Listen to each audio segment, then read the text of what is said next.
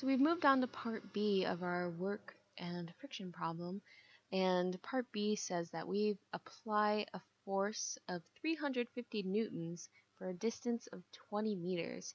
And we want to know how much work was done to do this.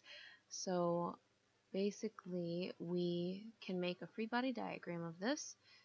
We have pushed this box with a force of 350 newtons.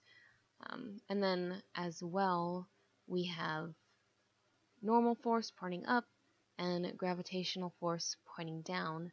But we are actually going to ignore these for now because these cancel each other out. So when we calculate work, they're not going to affect our value.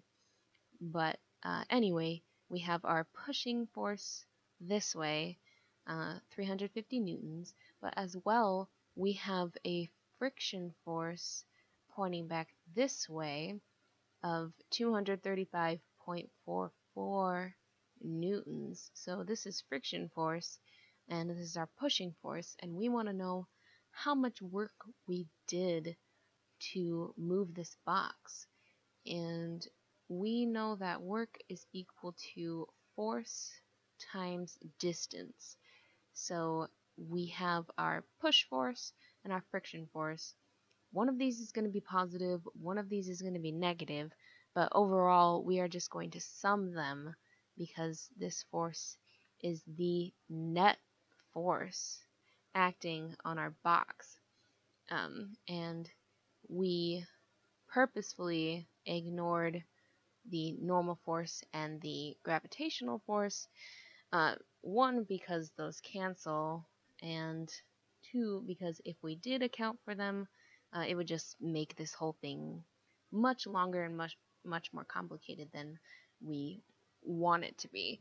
But either way, we are just going to sum these two values. So our net force is equal to 350 minus uh, 235.44 because our friction force is acting against our motion. Uh, so we just calculate this and it's 114 point oops point five six newtons.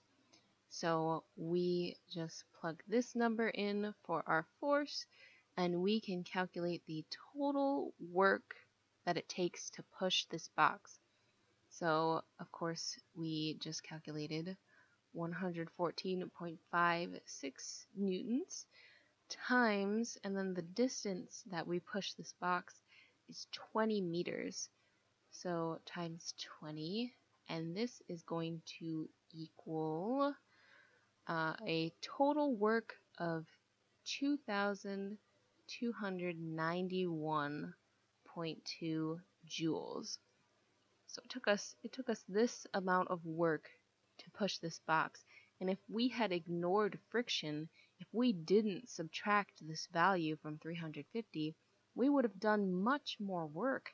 But uh, as reality is, uh, we do have to account for friction force in order to be accurate. So with that, we have finished part B.